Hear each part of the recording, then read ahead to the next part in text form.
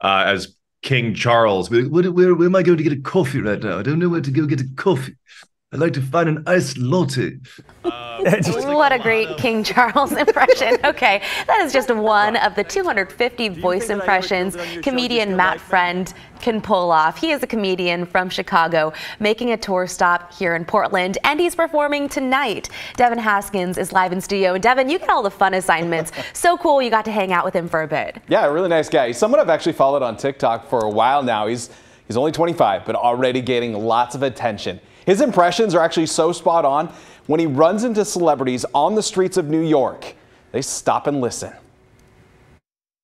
Okay, Jarvis, make me a caramel macchiato, please. I'd like a caramel macchiato. Yo, my name is Sly. You know, it's been really great. You know, With more than a million followers across all his social media channels. Do you think that I ever killed it on your show? Do you still like me? Every time. Right. Always. Matt Friend has quickly become a person that many are paying attention to. So the last time I saw this guy on the street. His run-ins are mostly by chance, and when he stops them, they listen. Andy, do you want to plead the fifth?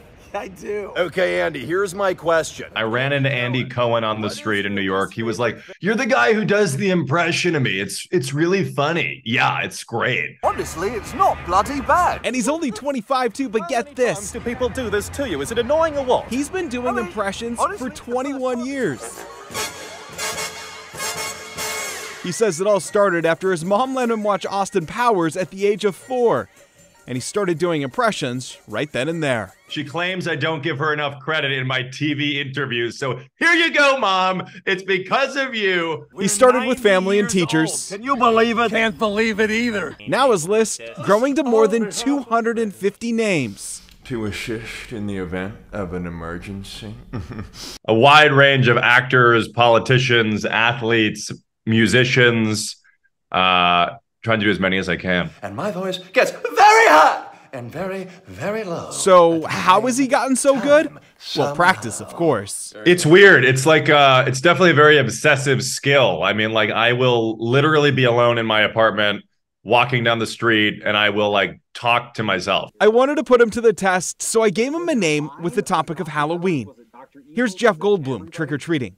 I like Halloween because of the candy, Three Musketeers. Former President Trump because uh, the pumpkin is fake. I invented the pumpkin. And Jennifer Coolidge. The only holiday better than Halloween is the 4th of July. I also asked him how he does these voices. Some impressions have different parts, like Barack Obama is kind of in the side of the throat, and then Ted Cruz is kind of in the nose. Then Bernie Sanders is a little bit deeper down over here.